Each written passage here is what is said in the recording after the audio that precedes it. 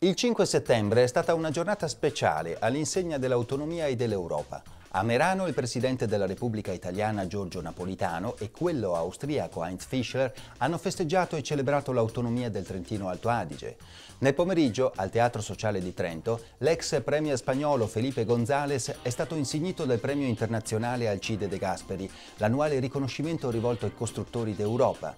Dopo Kohl, Ciampi, Simon Veil e Václav Havel, il politico socialista spagnolo entra così a far parte della cerchia dei vincitori di questo prestigioso premio, un premio nato per onorare le personalità politiche che più si sono distinte nel proseguire il delicato percorso di costruzione di un'Europa unita e pacifica. Un'occasione speciale per parlare di locale e globale, di identità e di futuro. Bentrovati a tutti. Io lascio subito la parola al vincitore del premio De Gasperi, Felipe González.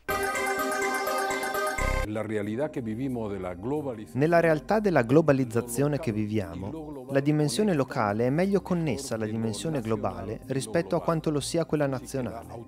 Quindi il ruolo dell'autonomia locale nel processo di costruzione dell'Europa e nella realtà globale si rafforza sia come risposta alla crisi, sia nella definizione del futuro. Per questa ragione dobbiamo tenere presente che lo Stato-nazione avrà sempre di più un ruolo di coordinamento tra la dimensione locale quella regionale, sovranazionale e quella globale. Viviamo anni di globalizzazione e di crisi economica. In questo scenario complesso, quale deve essere il ruolo delle autonomie? Lo abbiamo chiesto a Luis Durvalder e a Lorenzo Dellai. Noi abbiamo un'autonomia eh, che ha alla base un contratto eh, costituzionale un contratto internazionale, vuol dire che fa parte della Costituzione dello Stato italiano e perciò questa autonomia ci riguarda e ci spetta. Noi vogliamo amministrarla bene, quelle competenze che sono passate alle due province, a Trento e anche a Bolzano e dall'altra parte se lo Stato attualmente trovasi in crisi, allora secondo me abbiamo un, do un dovere morale almeno eh, di aiutare lo Stato. Lo Stato ha il diritto di prendere quell'importo concordato, però non può dirci, avendo questa autonomia, che dobbiamo risparmiare nella sanità, nell'economia, eh, nel, nel settore culturale. Questo spetta a noi. L'autonomia non è decentramento amministrativo, l'autonomia è qualcosa di molto più importante. L'autonomia è il modo di essere di una comunità, il suo passato, il suo presente, il suo futuro, la sua responsabilità. E in questo senso il ruolo dell'autonomia è fondamentale per il nostro futuro, soprattutto in questo momento di grande incertezza, di globalizzazione, fatto inesorabile di questo nostro tempo, ma che porta con sé anche rischi di omologazione, di appiattimento.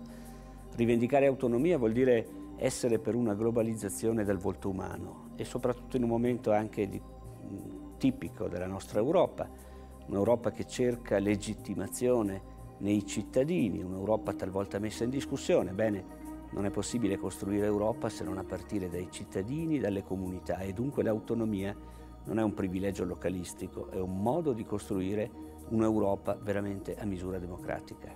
Ed ora siamo al consueto appuntamento con i libri. Io vi saluto e vi lascio in compagnia di Paolo Pombeni. Credo che il libro più importante da leggere per capire la storia dell'autonomia trentina sia la storia del Trentino stesso, perché l'autonomia è profondamente legata alle vicende di questa terra. Quindi questa grande opera che ha prodotto la Fondazione Bruno Kessler in più volumi, se uno vuole avere una visione completa e molto approfondita, la versione diciamo così più popolare che ha pubblicato FBK Press, sono due ottime introduzioni, perché altrimenti noi finiamo nei miti storici, come questa idea che per esempio la futura regione europea sia la prosecuzione del Tirolo storico, che è una cosa non vera. Il, il Tirolo storico, come viene interpretato da queste persone, nasce nel 1806, quando finisce il, il Principato Vescovile di Trento, il Principato Vescovile di Bersanone. Non si può ehm, paragonare il sistema delle fedeltà tardo-medievali e della prima età moderna alla, eh, ai sistemi, fra virgolette, nazionali